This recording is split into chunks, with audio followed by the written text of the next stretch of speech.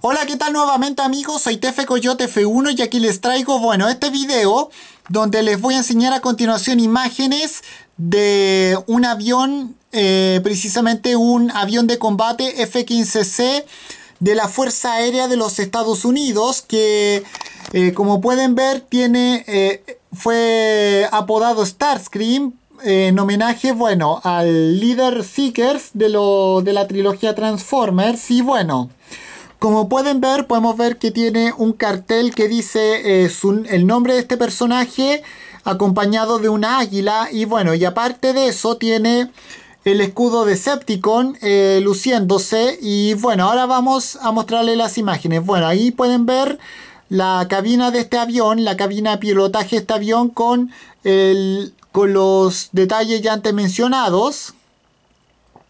Bueno, aquí está nuevamente este, este avión. Bueno, aquí pueden ver nuevamente este avión eh, por el visto de frente y desde el costado izquierdo. Y bueno, esas son todas las imágenes que quería mostrarles. Con esto me despido. Nos vemos. Adiós. Que me fuera. Chao.